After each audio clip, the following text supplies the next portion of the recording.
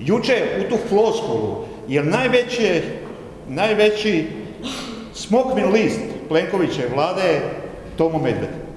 Juče on je u onom priopćenju pošalje floskulu da neće Hrvatska dozvoliti da neko drugačije gleda na vojne akcije, da je to legitiman, legitimna akcija uh, Hrvatske države i Hrvatske vojske, što se ja potpuno slažem sa njim. Ali Tomo, moj dragi, tebi sjedi potpredsjednica vlade, tvoja kolegica Anja Šipraga, koja isto razmišlja kao i srbijanski predsjednik Vučić i sva njihova politika.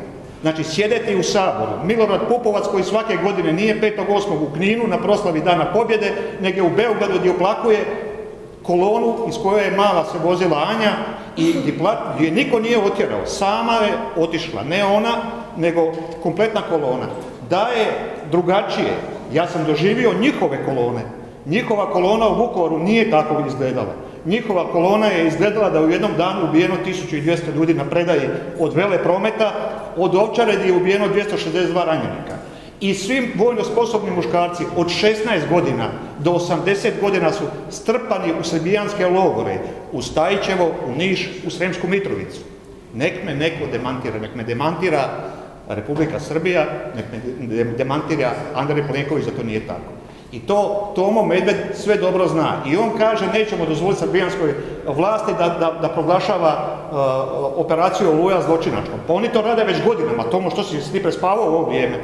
Tomo, o tvoj SDSS s kojim si u koaliciji isto to zagovara, a ti sjediš zajedno sa njima u vladi i drugo tvoji prijatelji sjede u Saboru i pljeskaju kad se izabere potpredsjednica vlade koja negira oluju, za nju nije ona oslobodilačka i legitimna, za nju je ona zločinačka.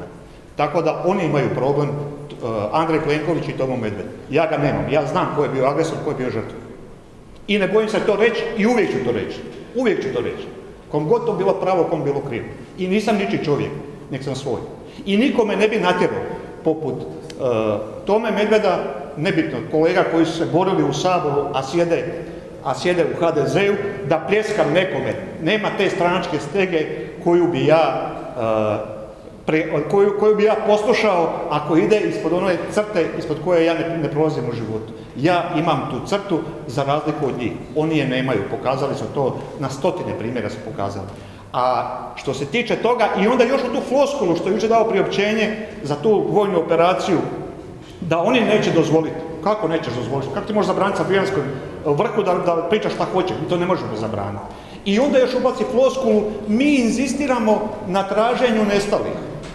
Pa Tomo, moj dragi, otkopavamo naše prijatelje, suborce na smetlištima u Boboti, otkopali smo 11 i sahranili prije dva mjeseca. Sad se otkopava druga grobnica na smetlištu, koja Kuševac, da ljudi znaju, u, u Petrovačkoj doli. To je za Vukovar Jakuševac, Petrovačka dola.